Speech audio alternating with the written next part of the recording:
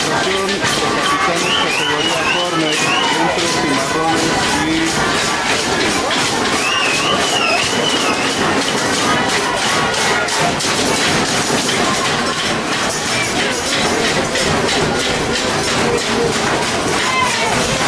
y...